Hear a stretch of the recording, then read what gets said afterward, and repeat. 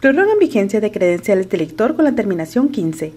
Dado que todavía hay más de 20.000 ciudadanos que no han renovado sus credenciales con terminación 15, el Instituto Nacional Electoral decidió prorrogar hasta el 5 de junio del 2016 la vigencia de tales documentos.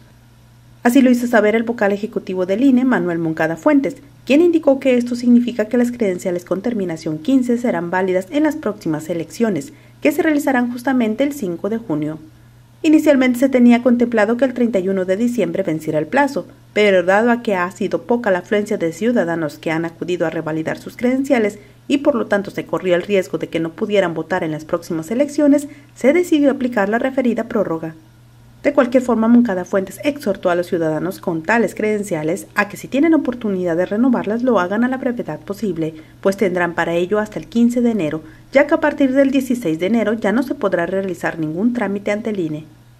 Moncada Fuentes recordó que las credenciales de elector con terminación 15 ya no serán válidas para identificación en oficinas públicas y bancos, de ahí que se tenga que renovar el documento a la brevedad posible. Primera hora. Sancionan a 260 personas por tirar basura en la vía pública. En lo que va del año, alrededor de 260 personas fueron multadas por la Dirección de Medio Ambiente y Cambio Climático, debido a que fueron sorprendidas tirando basura en calles, terrenos baldíos y arroyos. Miguel Ángel Castillo Gutiérrez, director de la dependencia, señaló que con esta medida se pretende concientizar a la ciudadanía de los problemas que generan al darles un destino inadecuado a los desechos. Castillo Gutiérrez hizo un llamado a la población para que denuncien ante las autoridades municipales a las personas que tiran basuras en lugares prohibidos, ya que en caso de que lo hagan serán acreedores a una sanción económica. Esto ha sido todo por hoy.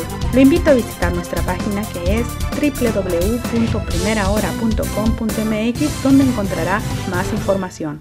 Hasta pronto.